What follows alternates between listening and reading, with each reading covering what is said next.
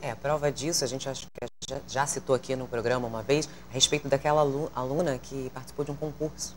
Exatamente, a Bruna Osma ano passado foi finalista, ficou entre as 10 melhores do Brasil e esse ano nós temos mais uma vez um aluno na final para essa 11ª edição do Paraná Criando Moda, estamos mais uma vez entre os 10 finalistas com a Camila Nardi, que é, veja, do segundo período aluno, concorrendo com alunos que já estão se formando e tudo mais, de escolas que já têm 15, 20 anos de, de estrada, né?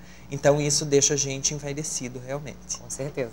E professor, quem quiser conhecer da UDC Monjou? Estamos de portas abertas nesse período de vestibular, agora até o dia 20 é, de outubro, 19, né? 20 de outubro. 20 de outubro, desculpe. Para a prova, é, quem quiser pode entrar, me mandar um e-mail no Ivone. É, no caso, a prova, desculpa, a prova é no dia 20 de outubro. A prova é no dia Sim. 20 de outubro, justamente. Sim, então, é. até o dia 20 de outubro, quem quiser conhecer, assistir uma aula, é, o corpo docente, a estrutura ou algum detalhe sobre a matriz curricular, alguma informação além daquelas que estão disponíveis no site, ter uma conversa comigo ou com qualquer outro professor, pode ligar também no 35236900 e agendar uma visita ou pelo meu e-mail. Nós estamos com as portas abertas nesse período de vestibular. Ok, muito obrigada, professor, pela sua participação e sucesso. Obrigado a você. O impasse entre a Polícia Federal e o governo já é um fato conhecido. Em meio a protestos, o pedido de valorização da categoria já dura cerca de dois meses. Mas, dessa vez, policiais federais foram às ruas para comemorar a decisão da Justiça que acatou parcialmente a greve. Na manhã desta terça-feira, policiais federais fizeram uma passeata, mas desta vez em comemoração. O Superior Tribunal de Justiça considerou legítimo o movimento da categoria. Nós estamos comemorando 50 dias de greve, 50 dias aqui lutando pela nossa reestruturação e estamos, acima de tudo, comemorando a decisão proferida pelo STJ, que declarou que a nossa greve é legal e o nosso pleito é justo. Né? Então, apesar de, dos salários cortados, apesar de toda forma, é, toda força utilizada pelo governo para tentar reprimir o nosso movimento, os policiais estão aqui unidos após 50 dias pela sua reivindicação. Os policiais ficaram reunidos na delegacia da Polícia Federal e saíram caminhando na Avenida Paraná em direção à BR-277, mas não foi uma caminhada comum. O percurso foi narrado e os policiais soltaram gritos de guerra. A federal parou!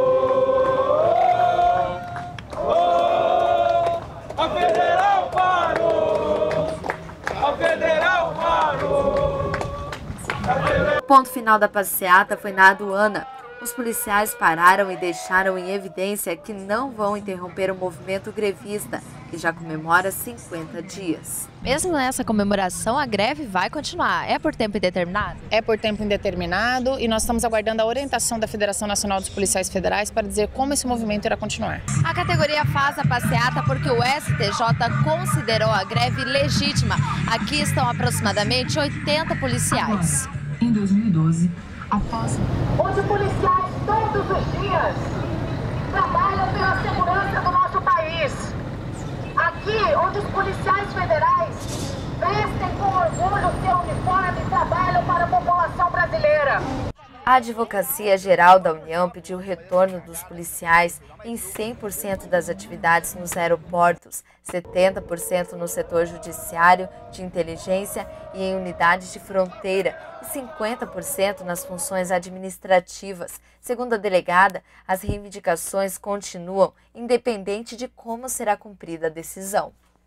A menos de duas semanas das eleições, a Justiça Eleitoral começou a gravar os dados dos candidatos nas urnas eletrônicas. O procedimento, conhecido como geração de mídias, teve início na manhã da última terça-feira. A preparação das urnas eletrônicas já começou. Nesta terça-feira, as quatro sessões de Foz deram início à geração de mídias. Iniciamos hoje esse processo né, em todas as zonas eleitorais e essa geração de mídia ela consiste na geração de um dispositivo que nós chamamos de flashcard, onde serão inseridos todos os dados dos eleitores, dos candidatos, as tabelas de apuração, tabelas de correspondência que nós chamamos, os códigos de segurança, tudo que vai ser posteriormente inserido em cada urna eletrônica. A atividade está sendo feita no Fórum Eleitoral e se resume na gravação de informações. Neste cartão estão salvos os dados dos candidatos e também dos eleitores da sessão eleitoral, e neste pendrive serão salvos os votos. Toda a preparação está sendo feita para que as urnas sejam lacradas.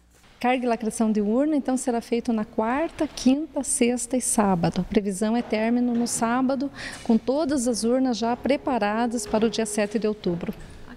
O assunto ainda é eleição. O Tribunal Superior Eleitoral divulgou o tempo médio de votação, estimado em 40 segundos. O resultado é baseado nas eleições anteriores. A prisão de candidatos, fiscais e mesários está proibida.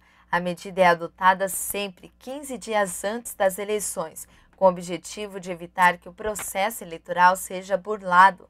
A prisão pode acontecer apenas no caso de flagrante delito. Depois do aprendizado em sala de aula, acadêmicos de farmácia do anglo-americano colocaram em prática o que aprenderam ao prestar atendimento gratuito à população. Na Praça da Bíblia, acadêmicas de farmácia da Faculdade Anglo-Americano do primeiro ao último ano uniram a teoria e a prática. No projeto que informa a população sobre o uso racional de medicamentos, esteve no local, aproveitou para medir a pressão e fazer o exame de glicemia e recebeu panfletos com informações para se manter saudável. É muito importante é, essa atividade para que os alunos eles possam então interagir com a população, né, entrar em contato com o paciente e com isso aplicar né, a, pra, a, aplicar a teoria na prática. Nosso objetivo é fazer com que a comunidade se aproxime mais da instituição de ensino, né? E com isso a gente pode contribuir com o conhecimento e melhorar a qualidade de vida da população. Para as alunas, a iniciativa é uma forma de aprimoramento do conteúdo estudado em sala a gente resolveu participar dessas exposições para ter mais contato com o público e assim aprendendo mais. Está sendo muito interessante, tudo que a gente aprendeu com o professor, a gente está aqui ajudando a população e mostrando para ele toda a nossa formação que a gente tem dentro da sala de aula e mostrando para a população tudo que a gente está sabendo e a gente está aprendendo no nosso curso, que é muito importante. O evento contou com parcerias da empresa de medicamentos e da Secretaria de Saúde de Foz do Iguaçu, alguns farmacêuticos estavam presentes. A importância do farmacêutico é total, porque ela vai monitorar esse paciente quanto ao uso dos medicamentos, quanto à orientação a medicamentos, essa interação tanto dos nossos profissionais da Secretaria de Saúde, quanto aos acadêmicos, quanto à indústria, é muito benéfica ao usuário que é o nosso paciente final, né? que com isso, com toda orientação, com toda assistência, ele vai fazer um uso racional, um uso adequado de medicamento. Então é de suma importância a participação do farmacêutico e essa interação com todas as equipes. E daqui a pouco, com reajuste salarial de 7,5%, bancários retomam as atividades. E em manifestação de apoio, funcionários da Sanepar rebatem as acusações da Polícia Federal.